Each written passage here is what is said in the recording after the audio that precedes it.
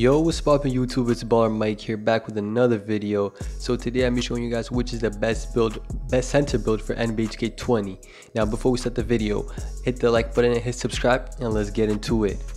Now, the two most common build are the Interior Force and the Paint Beast. Now, you go to Park and you see a center, it's most likely to be a Paint Beast or an Interior Force. These two builds are the most common builds, especially for center. But the real question is which of the builds are better? So basically this video is going to help you guys to determine which is the best center build. So today we're going to be comparing the stats of the two builds, which physical profile is better, and finally which is the better build to use.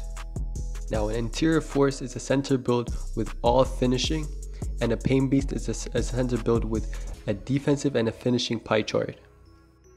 Alright, let's start with interior force. Now for the finishing attribute, by the way, this stats I'm going to show you is the, it could be modified with the height and weight, but this is just the default one. Now for the close shot, it starts at 63 and max it out to 95. The driving layup is 54 and max out to 78. Driving dunk 54 and it's maxed out to 78. Standing dunk 72 and it can max out to a 95. Now post hook 63 and it can max out to a 95. Now when maxing all the finishing, it gives you 30 finishing badges. Now for the Paint Beast, the finishing attribute, again, this is a default attribute. Now starts the close shot starts as 59 and max out to a 88. Driving layup 49 and max out to a 69. Driving dunk 51 and max out to a 75. Standing dunk is 50 and then max out to a 95. And post hook 47 and max out to a 80. And if you max all them out, you'll get a finishing badge of 22. So for finishing, Interior Force would win with having higher stats and higher badge. Now, going to the shooting, this is again the Interior Force.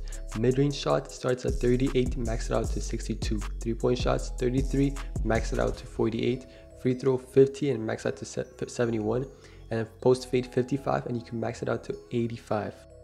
And if you max out all your shooting attributes, your shooting badge will be 10. Now for the paint Beast, Mid-range shot 36, max out to 62. Three-point shot 33, max out to 48. Free throws 50 and you max out to 71.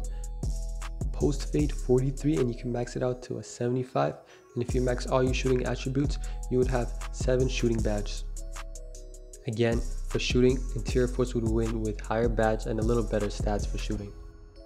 Now, an Interior Force for pass accuracy, it starts at 43 and you can max it out to 70 ball handle 34 and you can max it out to 51 and post move 46 and you can max it out to a 92 and as an interior force you could have a 20 playmaking badge if you max out all the playmaking stats.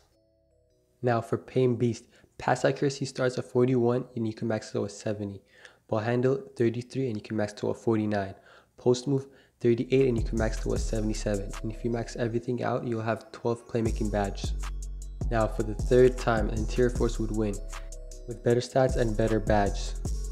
Alright, now for the defense and rebounding and Interior Force. Interior defense would be 45 and you can max to a 80.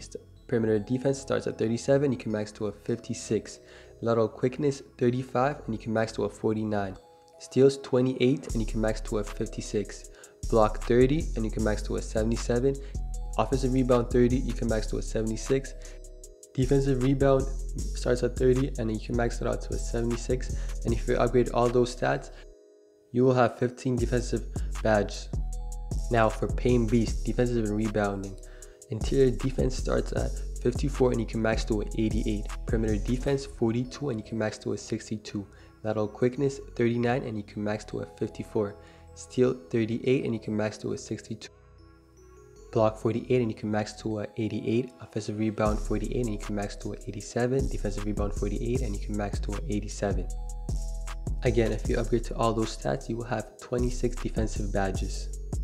Now for defense paint beast wins with the better stats and more badge now that we're done the attributes of the paint beast and the interior force let's move on to the physical profiles so for the physical profile as an interior force, you will need the max strength and max speed because it focuses on mostly uh, offense. So you need your strength and speed, and you would have 62 speed, 95 strength, 54 acceleration, and 46 vertical.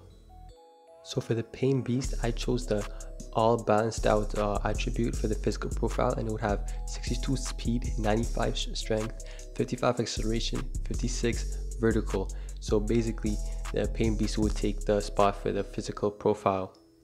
Now, overall, which one is better, the Paint Beast or the Interior Force? Now, I have decided the Interior Force is a better build to have as a center.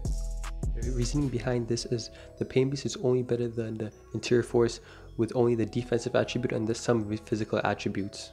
The other stats, finishing, playmaking, shooting, the Interior Force is better than the Paint Beast.